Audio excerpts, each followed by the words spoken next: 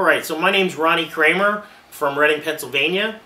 Uh, I was the infamous or famous computer teacher that taught Taylor how to play guitar. You know, as I started to work with her, I started to see a genuinely good kid uh, who, you know, just seemed interested. It's hard at that age to get people to stick with the program, so to say. I'm going to be very candid and honest. I didn't know that much about her, and all I saw was a pampered rich kid. I got to know her and got to actually, you know, work with her and see that, you know, she was actually going to, you know, be interested in recording. I mean, I would have never dreamed of the success she has now, but she was interested in recording and she was interested in writing songs. First time I actually met her face to face is when the Swifts brought her to my studio and asked if I would be willing to record a demo for her. Once the demo went through and that seemed to that seemed to work out pretty well, and we got a bit of a comfort zone for each other. Um, they asked me about giving her lessons, and you know, again explaining I wasn't really much into country music, but I could teach her theory and how to structure songs and how to project. I don't know that Taylor was extremely motivated at first, um, but she got motivated once I started showing her what she could do just by structuring chords and parts together.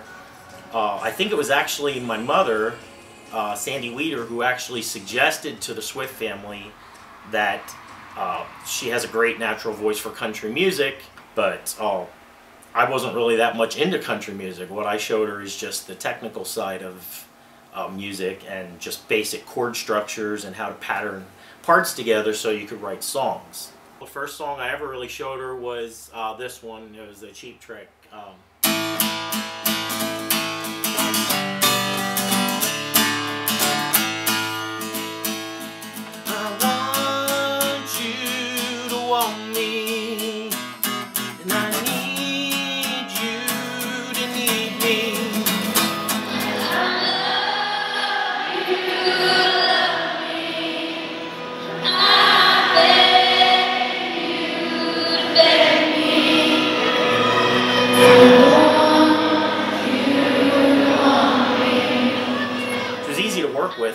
I stood. You know, she never gave me a hard time.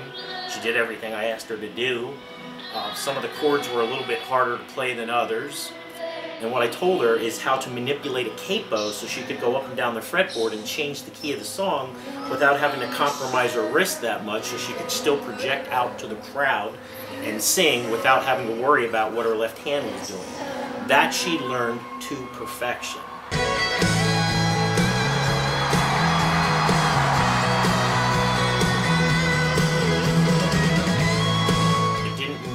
Family that well until the summer of 2002. In all honesty, I feel like it was more her parents kind of pushing her.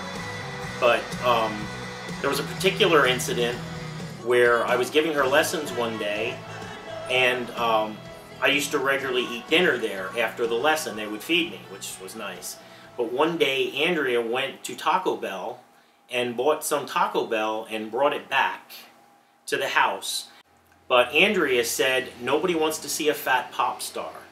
That that shook me a little bit because eh, you know Taylor really wanted some Taco Bell and she was far from heavy, but you know they were very her mother particularly was very keeping her on the straight and narrow as far as you know what needs to be done to be a pop star. There was one thing that really piqued her interest is when we started recording. I started showing her how she could layer a verse into a chorus and then manipulate them back and forth, she got really interested because then she started writing her words around the way I was showing her to structure the music.